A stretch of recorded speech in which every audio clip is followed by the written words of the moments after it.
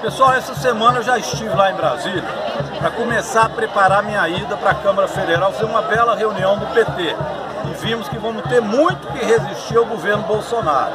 Hoje eu já estou aqui resistindo, junto com os companheiros lá de Campo do Meio, da Fazenda Ariadinópolis, que lutam para continuar trabalhando e produzindo na terra. Uma bela reunião aqui hoje. Agora, pessoal, mais uma notícia ruim do Bolsonaro, para variar, né? Ele já tem um ministro da repressão que é o Moro.